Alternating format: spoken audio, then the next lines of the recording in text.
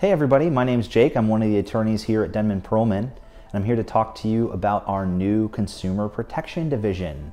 Uh, I was talking to founding partner Christian Denmon the other day, and he was telling me about a problem that he's been seeing with some of his personal injury clients. Apparently, some over anxious bill collectors have been reaching out to clients and you know, trying to collect their, their medical debt in ways that are a little unsavory and have been upsetting people. So we wanted to get together and put our heads together and find a way to protect our clients from this type of harassment. So Christian and I put our heads together, we did some research, and we found quite a few statutes that protect people from unsavory business practices, deceptive business actions, and illegal debt collections procedures.